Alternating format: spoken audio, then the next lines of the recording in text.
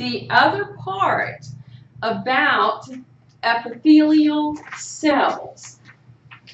The video touched on this. because of their structure, and remember, one of the things about us, we are organized organisms. Okay? So they have what they term these specialized connections. They were mentioned in the, the video. You want to go back and review it because it's now in the PowerPoint. So when you guys go to open the PowerPoint at home, it'll be there for you to see them. So they talked about like the tight junctions. They talked about gap junctions. They talked about desmosomes. These, these connections that exist, and because of where these cell types are found, are the reason that these connections are needed. In some cases, we need it to be that tight junction. If you remember, the tight junction went all the way around the cell, didn't let anything through, blah, blah, blah. Okay? The goal, have those junctions have the ability to form a permeability layer, i.e., skin, keeps us waterproof. Have them be able to bind cells together. Hold one cell to the next. Some cases, hold the cell to the base. Have the ability to give a mechanism for cell-to-cell -cell communication. Intercellular. One cell to the next. So, if you look at this picture, all right, tight junctions, we've got desmosomes, we can have a hemi, hemi means half, okay, hemidesmosome, we can have gap junctions, all right. We are either holding cells together, doing something to affect movement of the materials. Because remember, these cells are excellent for movement of materials. Do you remember in the video the little molecule that went either directly through the cell or it, it showed it going between the cell or going from cell to cell. Did you guys remember that in the video? Okay, so the desmosomes. Go back to our picture, okay? These right here, I think the video referred to them as looking like a button. I never thought of that, okay? That was kind of new to me. And then here, a half one, okay, a hemi, all right? So thing got a hemi, y'all remember that? Okay, all right. Car still have that, yeah? It's a Dodge. It's like a trademark. Okay. That thing got a hemi? Means it's supposed to go real fast. I don't know. But, okay, so, desmosomes, looking like a little button. Disc-shaped of that cell membrane, often found where there might be stress on the cell. They have adhesive glycoproteins. Do you guys remember the little um, glyco meaning the carbs, okay, the carb chain? So they're trying to represent those carb chains in between them, okay? Intermediate protein filaments. They're trying to represent those filaments going here and here and here, all right? Up through here, here, and here, all right?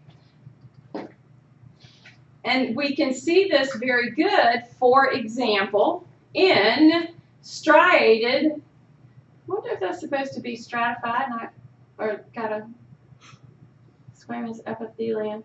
I think I got a um, typo. Okay, um, stratified. Y'all correct that on your little handout. Epithelium of the skin. The hemidesmosome was this one down here. But once again, little protein filaments, okay, the little glycoproteins. But this time, doing something with the base, most likely, of the cell. Tight junctions. Do you remember in the video talking about adherens and occludens? Okay. Zonula, zonula, zone, zone, adhere, occlude. Does that make sense? The zone to adhere, the zone to occlude. So, tight junctions hold the cell together that goes, and, and they're trying to represent it going all the way around the cell. It's on all sides of the cell. They say that you will have the zone to adhere. This would be an area between adjacent cells acting like a glue, simply helping to hold those cells together. Good example, simple epithelium. The zone to occlude. This is helping create permeability barriers. For example, the stomach. As we eat, the one thing about the stomach, pH is very low. pH is about 2. We do not need that pH leaking out of that organ. We need it to stay in. So the, this type of connection would help hold those cells together so that that acidic material does not make it to the body. Same thing for the bladder. Remember we talked about the acidity of the urine, okay? And it helps keep that acidic material from moving out, if that makes sense. Occlude means to keep out, okay? Gap junctions. Just like their name implies, there's a gap from one cell to the next. The goal is for helping make sure materials can move from one cell to the next. For example, the best example I can give are the gap junctions that exist in cardiac muscle. The heart, where the heart is beating, ba bump, ba bump, ba bump. Believe it or not, it is not one movement. It is the contraction of all of those cells and based on the ions flowing from one cell to the next, that it is in such great control that it makes the heart look like it's going boom, boom, boom, boom. But it's cell to cell to cell based on those gap junctions, which is kind of cool. So, um, the cell connections that are existing, okay? Now, the other part about epithelia. Epithelia has glands. Think about sweat glands. Think about oil glands. Okay? Now, in this that we have right here, note how they're trying to represent glands. All right? They're showing a gland that's not attached to a hair and the duct that'll be leading to the outside of the body. Here, they're showing a gland, and they're showing a gland, they're showing gland, they're showing gland, they're showing gland, okay? the ducts, all right, DUCTs, all right, they lead to the outside environment. The protection for us to the outside environment, which is very harsh to us, believe it or not. Okay? The environment is very harsh. And the goal is for this tissue type, the, these cells, all right, to help keep stuff out, all right, and it's aligning to the outside environment. So in these glands that we're going to find, in the body as a whole, under glands, we say we have endocrine and we have exocrine. Endocrine are something all to themselves. That's going to be a whole system that you study in 142. If anything leads to the outside of the body, well, some of these organs excrete into like the digestive system. For our purposes, we're looking at exocrine, a material that goes to the exterior of the body. And they have ducts, D-U-C-T's. So, guess what? They get classified. Everything is classified. So, we classify them by their structure. Are they unicellular or multicellular? Unicellular are goblet cells.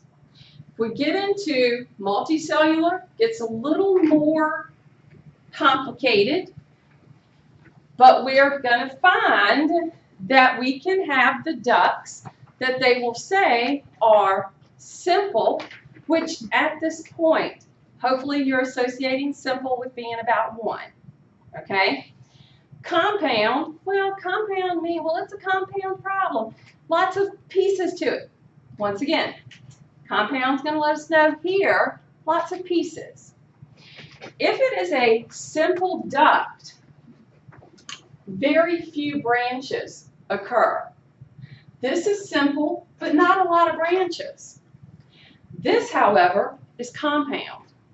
Not only quite a few branches, but branches, branches, branches, branches from that. Okay?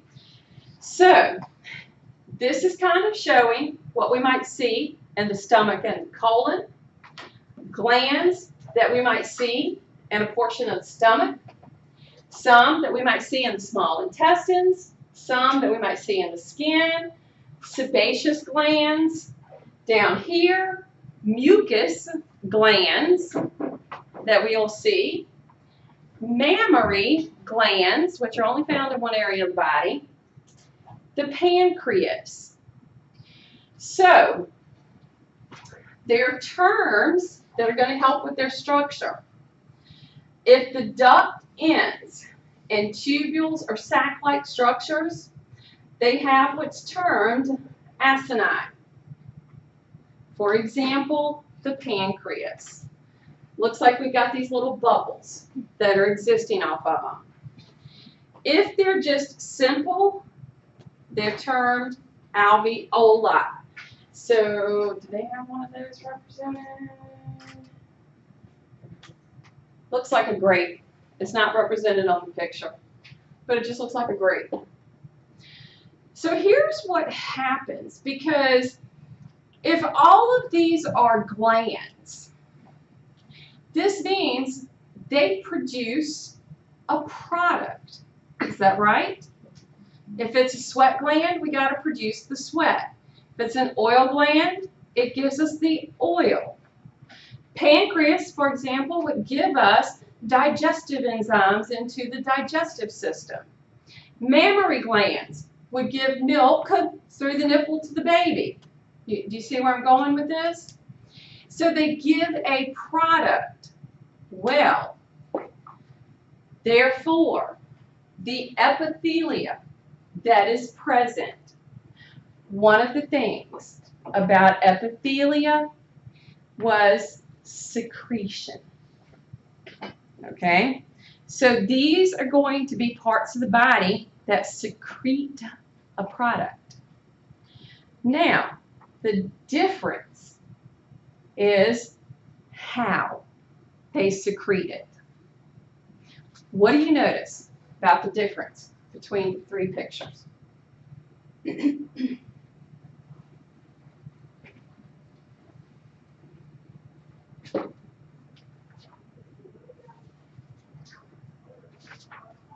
tissues on the inside.